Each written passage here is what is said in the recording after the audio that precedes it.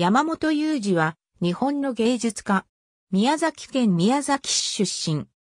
山本裕二1958山本裕二のサイン。書道家の父に書道を4歳から同時期に宮崎市の画家、戸高秀夫に指示する。20代で米国シアトルに渡りシアトルロータリークラブで墨を使った作品を展示。ビル・ブラックバーン邸にてパステルの個展を開催し帰国。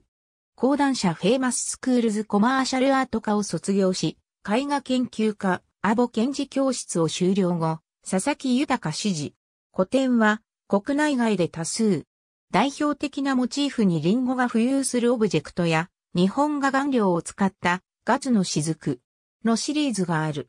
F20 ラピスラズリ、崩壊松、水管絵の具、キャンバスに、ゼッソ2014年現在、宮崎県美術協会長。日本美術家連盟会員、インターナショナルアソシエーションオブアート会員、地元宮崎で制作の傍ら更新の指導育成に努める。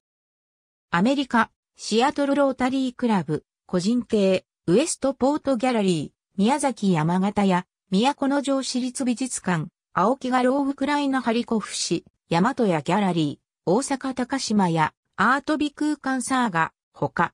韓国広明大学校美術大学研修、フランス、アメリカ、イタリア、スペイン、オランダ、ベルギー、インドネシア、ドイツ、オーストリア、チェコ、韓国、ウクライナ。ありがとうございます。